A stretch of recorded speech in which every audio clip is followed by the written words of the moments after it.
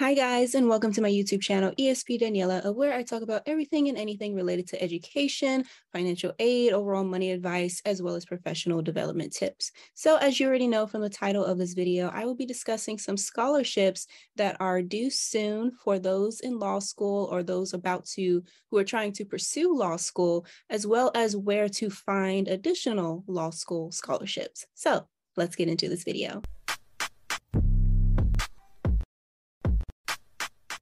Now, before I get started, of course, I have to give you all a brief background if you don't already know about me. So, I am a scholarship expert. I have been able to win 30 scholarships between undergrad and graduate school. And over the years, since 2017, I have helped a lot of students across the globe win millions and millions of dollars of scholarships for themselves and graduate debt free. So, with that being said, you are definitely in the right place by watching this video. Now, it's time for me to start sharing my screen with you guys so you can see some of these scholarships that I'm talking about. Okay, so first we have these scholarships that can be found on lsac.org or lawschooladmissionscouncil.org. So if we scroll down here, it says, so first, please note that while the application deadlines for some of the below scholarships have passed, we recommend checking back periodically as the programs listed are active and new opportunities will become available in the future.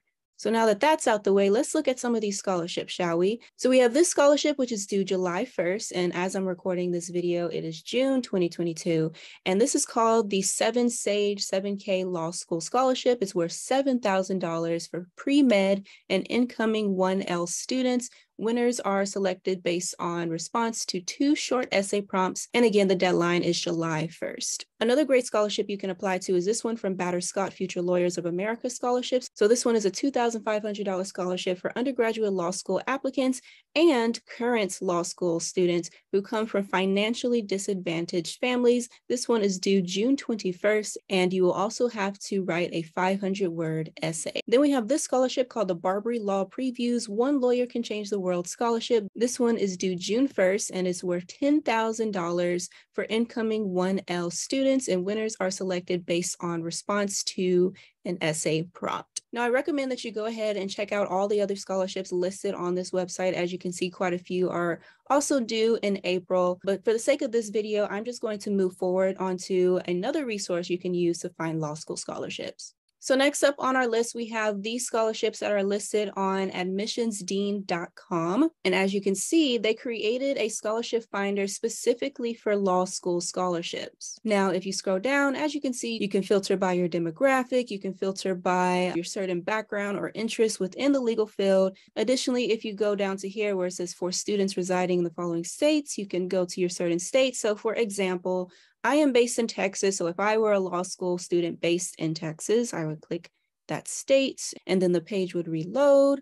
And as you can see, it's showing all of these scholarships specific to those based in Texas. Now, if you don't want to use any of the filters and just home through the scholarships that they have, then all you have to do is reset the page and you can see all of these scholarships as well as their amounts and when they're due organized. There are also various scholarships available on bold.org. So if you type in the keyword law or perhaps like legal and then filter by deadline, so as I'm recording, these are the closest deadlines to right now, such as August 1st, August 16th, and they have all of these law school scholarships that you can apply to.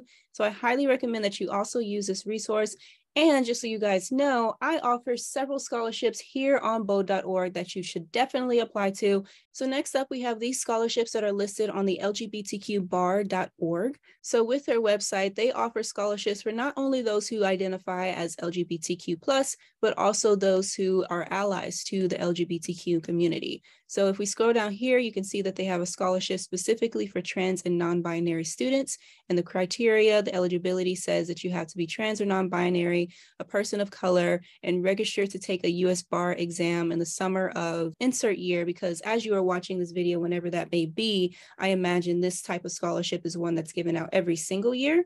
And then it also says, or first legal job does not start until September 1st or later. And as far as how to apply, as I am recording this video, the application is closed, but again, I imagine this one will reopen again. So make sure to check up on it. They also have another scholarship here that is offering three scholarships of $2,500 each annually.